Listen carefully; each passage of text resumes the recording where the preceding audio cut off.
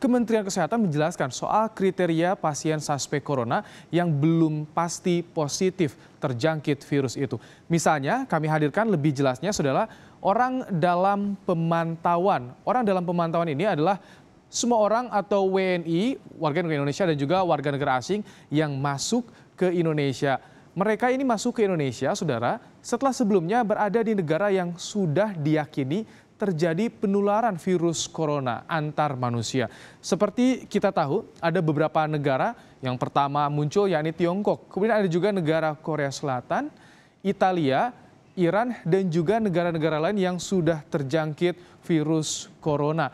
Dan saudara, apabila dalam orang pemantauan itu sakit dengan gejala-gejala seperti e, sama dengan influenza, e, misalnya batuk, flu, demam, sesak nafas, dan juga maka ia masuk dalam kriteria pasien dalam pengawasan. Nah, saudara, pasien dalam pengawasan inilah yang harus mendapatkan penanganan lanjutan, harus dirawat.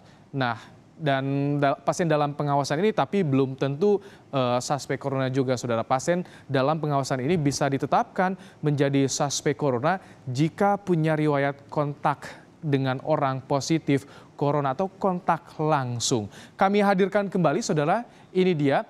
Jika dalam pasien pengawasan orang dalam pemantauan ini mengalami gejala influenza sedang hingga berat seperti batuk, flu, demam, eh, ini bisa dikatakan pasien dalam pengawasan, namun belum tentu mereka bisa disebutkan sebagai suspek corona. Nah, ketika masuk dalam tahap suspek corona, ini eh, akibat uh, berakibat dari jika dia punya riwayat kontak langsung dengan orang yang positif corona. Ini yang saat ini beberapa pasien dalam pengawasan dirawat di sejumlah rumah sakit rujukan baik di tingkat daerah ataupun juga di tingkat pusat.